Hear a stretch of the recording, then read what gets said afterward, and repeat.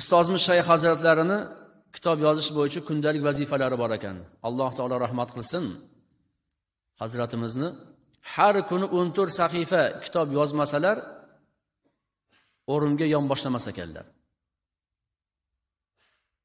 Ukalari muhammad amin hoji aka aytib beradilarki safardan kelsalar ham biz mabodo akamizni tahsilni ziyorat qilgani kelsak biz bilan ko'rishardilarda bir piyola choy ichib ijodxonasiga kirib ketardilar deydilar. Kirib yozish bilan ovora aka biz sizni ziyorat qilgani kelganmiz. Unda safar taassurotlarini aytib bering. Gaplashib o'tiraylik bir. Aka uka bo'lib oila bo'lib bir maza qilib bir suhbatlashaylik deb kelsak siz faqat ijod bilan uka o'n to'rt sahifa vazifam bor. Shuni hozir o'ntasi qolgan. Shuni yozib qo'ymasam bo'lmaydi.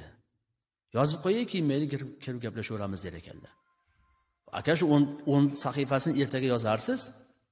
Yo ertaga yana o'n to'rt borda. Unga bu o'n qo'shilsa nima bo'ladi? O'ttiz to'rt bo'lib qoladi. Yigirma to'rt bo'lib qoladi. Yigirma to'rtni yozishga imkoniyatim bo'lmaydi.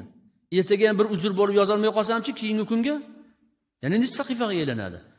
Borib borib shayton egallaydi. Vazifa ko'payib ketadi. Yigirma kilo yukni hammamiz ko'tara olamiz. Qirq kilo bo'lsachi ellik foiz odam ko'tara olmaydi. Oltmish kilo bo'lsachi sakson foiz odam ko'tarolmay qoladi. Xuddi o'shanday yuku ham.